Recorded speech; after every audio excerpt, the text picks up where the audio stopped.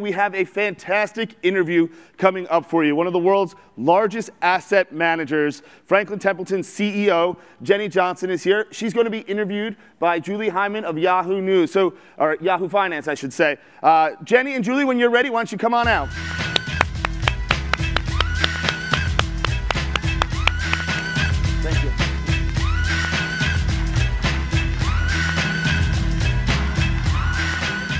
Like our entrance music. I do too. I also like this conference that they serve wine and beer before you come in towards the five o'clock. I know. ones. Did you take any?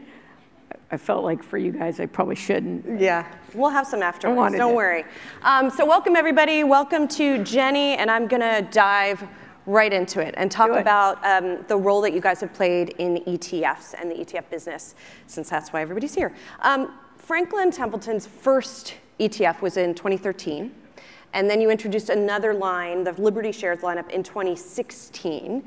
Um, and obviously, there were some people who had been in ETFs for a long while before that. So, what was then the, the trigger, the, the thing that flipped your switch to get in?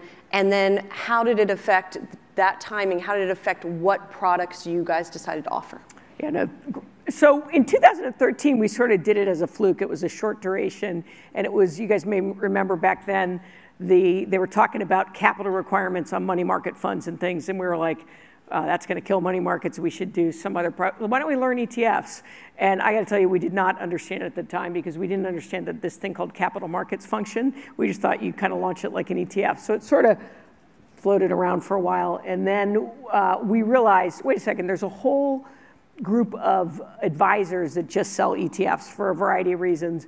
And while some people said, oh, you're late going to the ETFs, the reality is, and to this day, active ETFs only represent 4%. So we came out immediately um, with, with a passive lineup, which I'll talk about in a second, uh, multi-factor smart beta and active, which were both multi-factor and active, were very new at the time. We were really some of the first moving into that space. And the only reason we did passive is because we think passive is, exa- it's like driving a car with no safety features and barely having brakes, so it should be really cheap. And there were, um, there was obviously pricing arbitrage. We're 40 to 60 basis points cheaper uh, than the, the other passives out there. And we said, you know what, let's just go out there and, and make, pass, make beta cheap, like it should be. How do you do that? How do you make that work for you? How do you make it make sense for you uh, in terms of the bottom line? Or do you view it as something to, to get people in the door? Well, so we definitely viewed it as something to get people in the door and to show our commitment. Um, to be honest, we've been a little bit surprised that people are willing to pay 40 to 60 basis. We thought, oh, this is going to be a no-brainer. It's it's it's passive, and so it surprised us. We're now finally years later getting traction there, um, but it was a little bit of surprise. But it was really about making sure that the message was we're here to stay in the ETF space. We think it's an important as an asset manager. We look at our intellectual property as essentially in our capabilities as what our investment teams are able to do.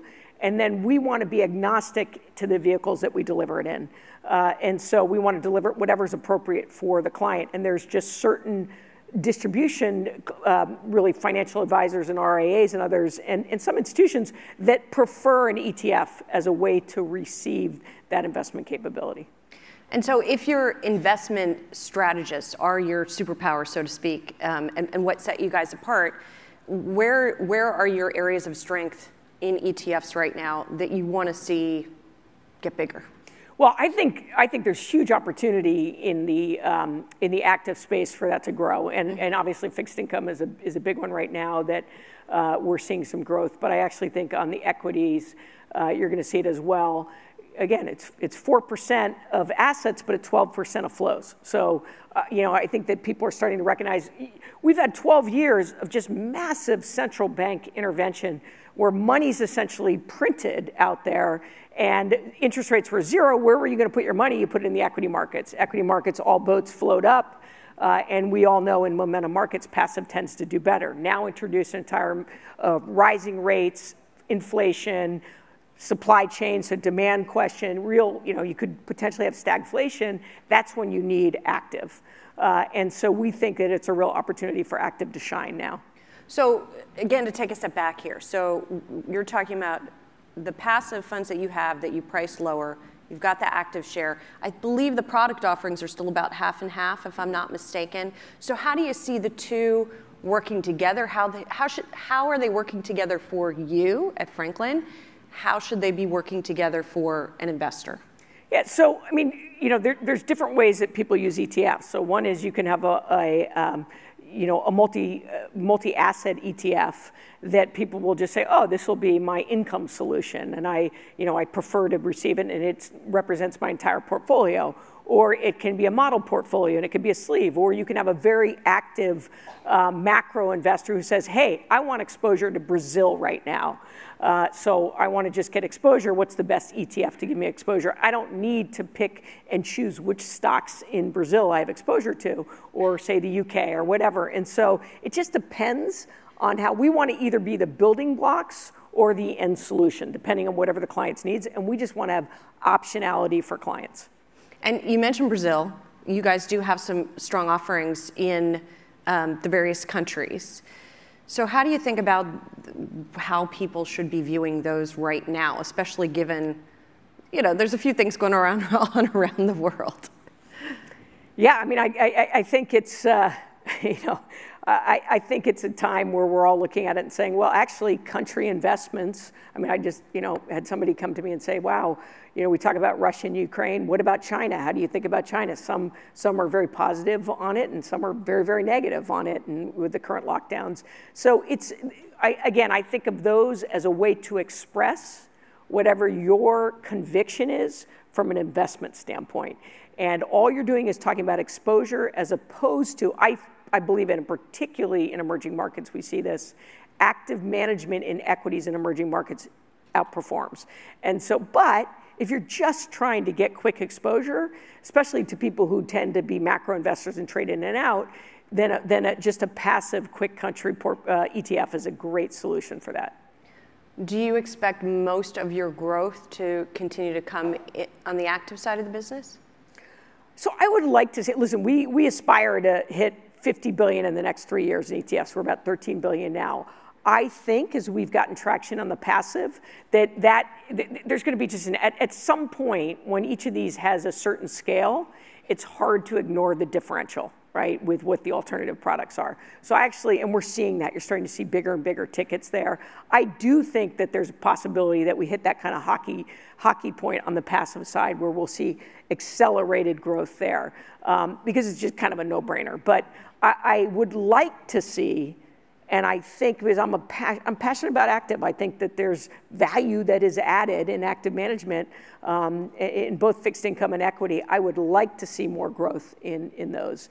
Uh, and you know, we've had, we have a couple billion dollar uh, fixed income uh, ETFs. Uh, and I think, you know, in this, like I said, in this environment, I think active is going to continue to outperform. As you pointed out, though, sometimes there's a differential between the quality of the offering or the price of the offering in the case of the passive, and the adoption of the offering, right? And so when you're talking about going from $13 billion in assets to 50 billion in assets in the ETFs, how, how do you get there? What's the, I mean, besides talking to folks like this who you know you want to look at the stuff. Um, what's what's the plan for the and the roadmap for how to get? there? You know, it's it's funny in uh, in asset management. I'm telling you, like the investment people probably represent about I don't know eight percent of the industry, and they actually wonder what the other 92 percent do. Uh, and and it, you know, in many ways, it's a lesson for us on distribution, right? Which is we made sure we got the investment capabilities right on the ETFs we assumed you could apply your traditional um, mutual fund, say, kind of sales force uh, into an ETF. But the reality is the buyers of ETF in many cases are different. And so we've had to go through the process and think, all right, we got to retool and rethink about ensuring, because I always say it's, it's kind of 50% of the game, is making sure we are structured from a support and a distribution to be able to support those products. And I'm not sure we did it great initially. I would also, the same thing goes for alternatives. I'm passionate about alternatives ultimately coming into the, to the retail channel. Um, and, but you know, it's a, it's a little bit of running with scissors. We're talking about very illiquid asset classes uh, and a risk to the average person who may need their money. So finding the right way to do that and the right investment vehicles as well as strategies is really important. But also what we're learning is having the distribution support to be able to sell those types of products is different than the traditional way that you had to do it. And to be honest, I'm not sure um, that, that everybody has figured it out, uh, particularly on the alternative side. So we're all sort of, right now, I, I can, I know it because talking to my peers, there's kind of a mad scramble to figure out how to do this. And, and also talk to me about how it fits into the overall Franklin wrapper and business. Because, you know, we talked about 13 billion now, 50 billion dollar goal, one and a half trillion is what you guys currently have as your AUM. So how do you think about the importance of ETFs as a growth engine, as a marketing tool for the company, um, and, and, the role that it plays? So, look, as I said, I, I think that our job is to be agnostic to the vehicle and pick the best vehicle for the situation. And the reality is, an ETF versus a mutual fund. Listen, why were mutual funds seemingly more expensive? Well, there was a lot of distribution and services fees embedded in a mutual fund that are not embedded in an ETF. ETFs are sold by fee based advisors in, in kind of the, the, the, high net worth space. And so a mutual fund seemed expensive. It was almost like double dipping, right? We, we don't mind having the same investment team do mutual funds as well as ETFs. Our Dynatech has been our big innovation fund. It's phenomenal fund. Um, but when we launched the ETFs, we did thematic genomics, AI, e-commerce, right? We picked thematic ETFs. But it's the same investment team who provides the research to the mutual fund. Um, so again, it's, yeah, and I think CITs, I mean, probably uh, collective investment trusts on the retirement side didn't really they weren't that big 10 years ago. Now they're a huge percentage of that so it's being flexible. I think tokenization is going to massively uh, impact what types of products can be brought to market and and what actual investments can be included. Um, so you know I, I think that the way i view it at franklin templeton is our job is to make sure that we're staying on top of whatever those vehicles are to deliver our capabilities and ensure that they're the best offerings for the client. Um, I want to come back to tokenization, but just to move off of that for just a second. Um, you guys have done some big acquisitions. Um, Legg Mason was one of the biggest ones, not just for you guys, but for the industry also. You've done some alternatives, you've done them indexing, some other areas. Um, where do you still see gaps that you want to fill or areas that you want to enhance through maybe making some acquisitions?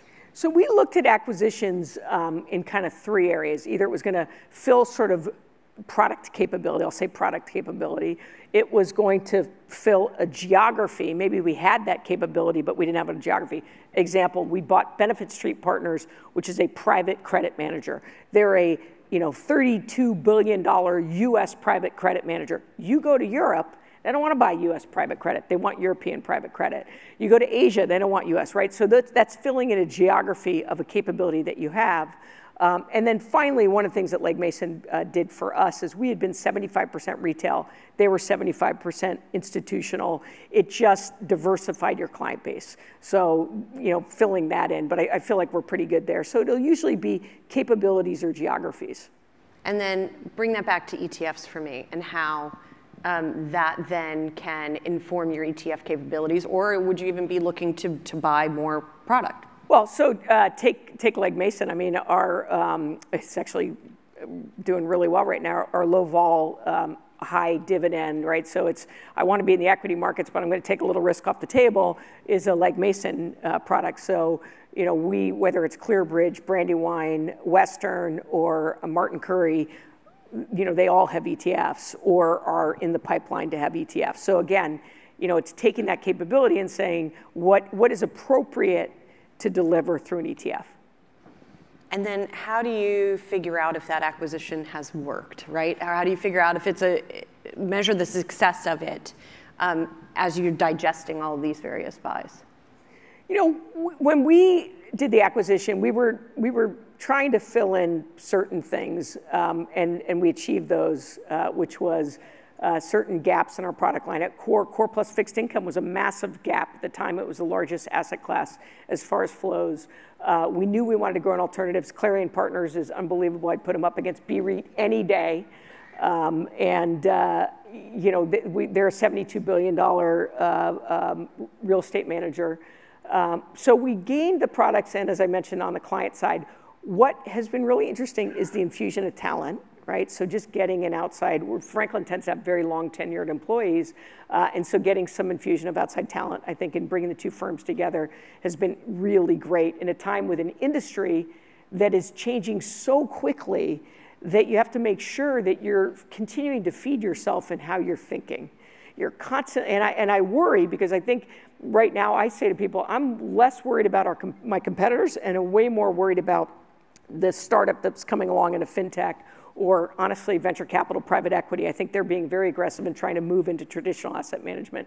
So you're bringing in talent and then the key is in this business there's going to be massive investments in technology AI, data. Data is really, really expensive. To be an active manager, you have to be exceptional at being able to understand uh, non-traditional sources of data to gain insights. That's expensive to do. Um, collaboration amongst our investment teams, we think that's a strategic advantage. So we just had, um, when, uh, uh here, example, when COVID hit, we you may recall that US Treasuries, the most liquid asset class in the world, froze up for a day. We were able to pull together the uh, CEO of, of Western Asset, who's talking to Treasury Department, because he's so wired in there, um, Benefit Street, our private credit, our three macro managers, our global fixed income on Franklin, and get them in there and talking about what they're actually seeing in the different uh, tiers of credit and to prove the point as whether it was valuable, about six weeks later, we were doing the call initially daily, and then it became weekly. I said, look, I, don't, I, I hate doing calls just for the sake of a call. Why don't we turn this into a uh, event-driven call? And the head of Western said, you know what, this is incredibly valuable to me. I'd like to keep it up for a while. Mm. You know, same thing, Russia and Ukraine. We're able to pull in um, experts from a, across our groups to understand from a commodities, from a technology. You know, the, the neon gases and the gases in um, you know, how do they affect the chips, chip making? It's not something a lot of people talk about. Nickel, how does it affect batteries? Not just oil, gas, wheat, and corn, right? There's a lot of other factors in there. And being able to get experts from various teams coming together, opening it up for our investment teams to hear about, to submit questions, I think is a real advantage. I don't think there's any other firm that has the ability to pull that kind of fundamental capability together. Um, I know that you are passionate about innovation, technological innovation. You've mentioned it, you've alluded to it a couple times, and I want to talk more about that, especially since you also said something I thought was interesting, which is that people who go to Franklin tend to stay at Franklin for a long time. So if you are looking at technological innovation, where are you getting that from? Are you acquiring? Are you hiring people to come up with new ideas? And then whether you're talking about tokenization, slash blockchain, digital wealth, AI. How is that being integrated into the business? So I think a couple things. We, so fortunately, we're headquartered in the heart of Silicon Valley. So we actually have a great location for that. We, about five years ago, opened up an incubator. Um, we've done uh, digital wallets. I hate crypto, crypto wallets and digital wallets. Um, we have, you know, farm fractionalized farming in there that's been technologically driven. Um, all of them are companies that we think can be disruptive for asset management or financial services because we want to stay on the forefront of that. That kind of led us uh, to opening a venture capital fund, as well as we, have um, had you know kind of the first mutual fund approved uh, a, uh, it, with um, a blockchain mutual fund. So you know think about I can't say st- stable coin because that's in the crypto world. Ours is a regulated mutual fund, but it's on the blockchain. Um, and that led us into managing nodes for people, led us into uh, launching our own venture fund. You have to stay on top of, and if you tell people you're going to invest, they'll come to you. Now, we worry about the ability to keep up in the case of blockchain. And so we've launched with four universities contests, uh, two in the US, two in Poland, where we're basically saying to college students, hey, you want to you know, launch a company in blockchain? We're going to have a, a contest. We're going to fund the winner. And oh, by the way, we suddenly get skilled people to do programming in blockchain. So I, my goal as CEO is to spend 30% of my time focused on disruption to the industry. And to be clear, you don't hate crypto. You hate the word crypto. Is that what you're I saying? I hate the word crypto. I'm a, I'm a big fan. I actually think that people underestimate. So the prior speaker, uh, every conversation. You should have seen her backstage, by the way, you guys, uh, while Matt and Dave were talking. She was, she was talking at the screen. She had a few, she yeah. had a few thoughts. Well, because here's why. Every, every uh, conversation about digital assets goes down the rabbit hole of Bitcoin. Bitcoin is like a piece of art you and I agree it's worth X, it's worth X. And I went from, yeah, but any day it can be worth zero, but talk to somebody who, who uh, you know, lives in Israel whose money was taken by the government, and you'll hear them why they want to leave some amount, uh, you know, invested in, in, Bitcoin. You talk to, I was in the Middle East uh, soon after the, the war in, you know, Putin launched his war, and honestly, they were incensed by the fact that the US would take Russian reserve dollars. So you're going to start to see countries saying, you know what, not sure this dollar thing, it could become political. I got to park it somewhere. So I do think there's something there. However, Bitcoin is the biggest distraction from the greatest disruption that is happening to, to financial services. And I'm just going to leave you with two thoughts and why you should care about it. It is going to disrupt how money is raised and invested in equities. So Web 1.0 was, think about it as, as read it I it was like a billboard. Remember, you put up your website for those old like me. You put up a website and you just left it there. And then Web 2.0 became write it. It came transactions. Let's communicate to each other. Web 3.0 is read it, write it, and own it. Because blockchain is going to enable, because the technology is going to enable with smart contracts a different level of ownership. Two examples. Today, if you Google, right, you would agree that there's some economic value that you bring to Google, and they capture 100% of it. There is a very poorly executed search engine leveraging blockchain where when you use them, you get paid in their coins for say, let's say, I don't know what it is, but let's say it's a third of the economic value, right? Suddenly you're starting to own a little piece of what you bring to it. It's the social environment of it. Another example, there's a company called Theta TV. Theta TV wants to be the fastest streaming service out there. When you watch Theta TV on your device, you are agreeing to allow them to cache. You're basically allowing their, your device to becoming part of their infrastructure. They cache the content, and then when Julie wants to watch it over here, it boom, it goes to her. All it has to do is leap from my device to her device, and they pay you in T-Fuel. Ethereum, it drives me nuts that Ethereum trades like, like Bitcoin, and I thought his explanation of risk assets was a good one. But Ethereum is like when Steve Jobs came out with the iPhone right? What we all thought was, hey, this is pretty cool. I've got a phone, I got you know GPS, I have flashlight, I have music. Wow, this is great. What he understood what he, that what Apple was doing was they were unlocking the imagination of the people and providing a platform to do it. That is what Bitcoin, or that is what blockchain is doing. And so when we talk about tokenizing alternatives, or we talk about uh, you know bringing democratizing alternatives, a phenomenal way to do that is leveraging blockchain. Because imagine if I owned the Empire State Building. I can sell it to a million people.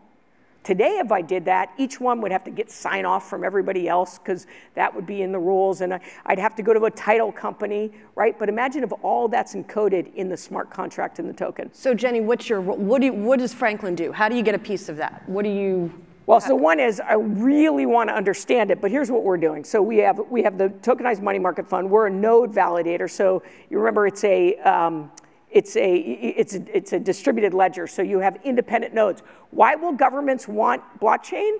One, I can tax you because I know who you are, and two, it's better from cybersecurity because while I run my node, there might be 19 other people who run the node, all with an independent cyber environment.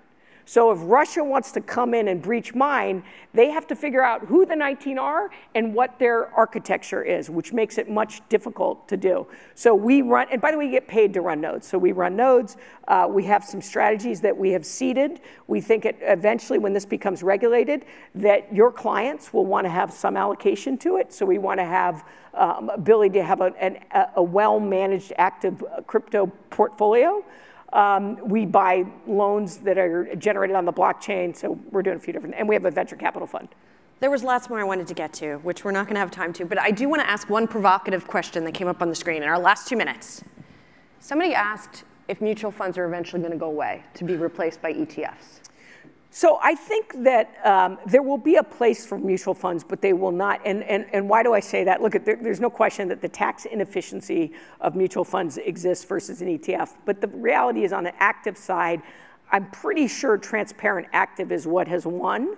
There are certain strategies where transparency could hurt. If you're running a, smart, a small cap fund, you can't tell the world where you're, as you're building a position, there's just not enough there to do. So there will be certain strategies where it'll be better to have it in a mutual fund, but it'll certainly, I think, honestly, SMA, separately managed accounts, direct indexing, all of those become um, a bigger part of the solution. ETFs and mutual funds will just shrink, but I don't think they go away.